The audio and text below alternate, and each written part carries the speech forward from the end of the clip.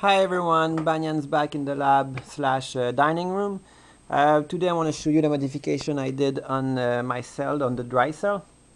I want to also talk to you about uh, the next modification I will do on this cell and uh, explain to you why uh, I do that. So let's get started. Um, as you can, I, as I, I, believe you saw in my um, earlier video, I had problem uh, with uh, the stainless steel foil that uh, was touching, the two first plate was touching each other. So uh, I, I did add a, a, gasket pattern between the plexiglass and the first uh, plate of stainless steel, um, which allows some movement between both of them, uh, thermal movement. So when the, the, the, the plexiglass cool down, the stainless steel doesn't follow when uh, sorry when the plexiglass uh, cool down and shrink the, the, stainless steel do not follow and kink. So this worked perfectly. It fixed the problem entirely. The cell is not uh, shorting anymore. So the next thing I want to show to you is the thickness of my walls. I did use two plexiglass I purchased at Home Depot uh, one quarter inch that I stick together with crazy glue which give me uh, more, uh, give me thicker wall, more uh, rigidity on the cell, and then uh, more thermal work resistant, thermal resistance. Sorry. Um, my plates are here and between those two walls. I have 13 plates, two positive in the outside, one negative in the middle. Um, I also want to show you those little black square here in, in the bottom of the tank or my spacers that I put between each uh, layer of stainless steel. Uh, yeah, I use uh, stainless steel foil. Uh, it's really flexible, so I wanted to make sure that uh, each uh, layer of stainless steel will not touch each other because they are flexible. So I don't know if I put too much of those spacer. I don't know if I place them on the right spot. I don't know if it's useful but uh, some of them took off and end up in the bottom of the cell.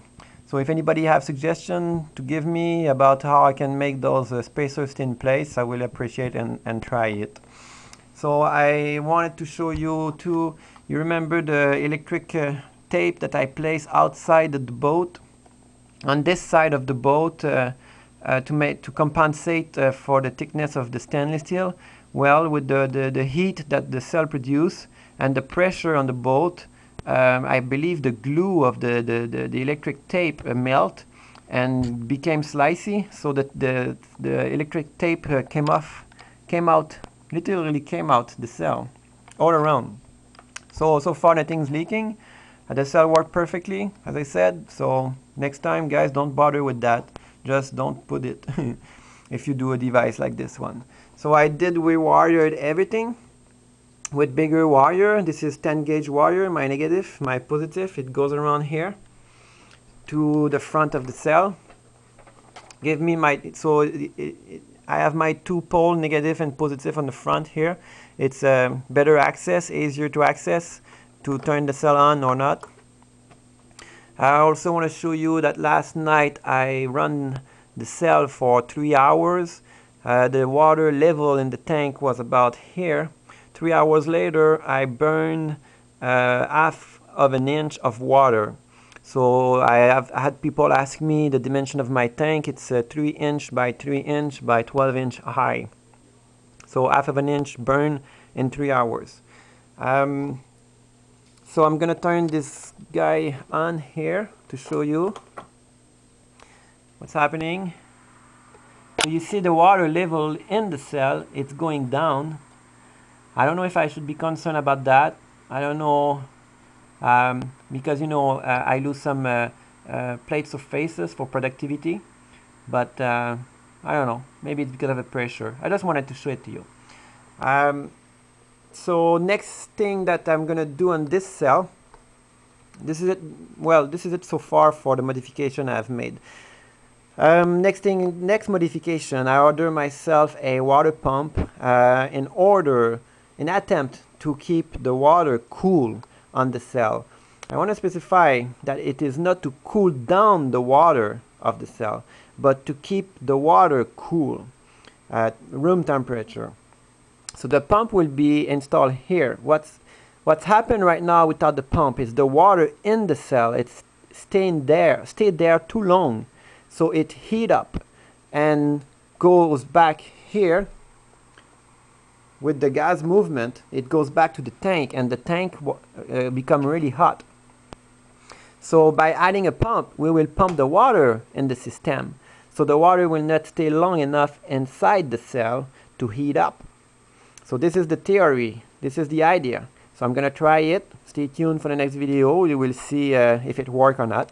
I also ordered myself a amp meter uh, a real DC amp meter that I will install here in front because the one I have here it's a ACA amp meter so I don't know if this guy is telling me the truth. I'm not good enough in, in electronic uh, for that.